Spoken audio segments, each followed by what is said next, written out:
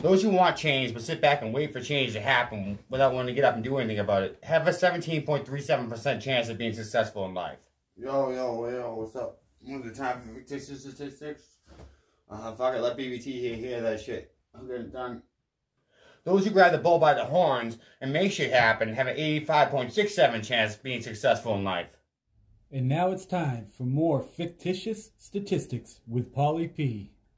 Teamwork makes your dream work 93.36% of the time. If cloning of extinct species is a 133.3333% chance, that throws the whole ecosystem out of balance.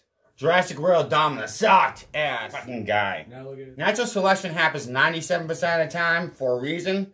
We don't need to fucking bring on more lizards and elephants. Why don't we just protect the ones that we already have right now? Moose poop is 30% more flammable than giraffe poop.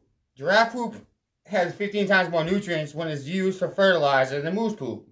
Moose poop is 300,000 times more abundant in the US of A than giraffe poop. So getting the giraffe poop for your garden is kind of a tall order.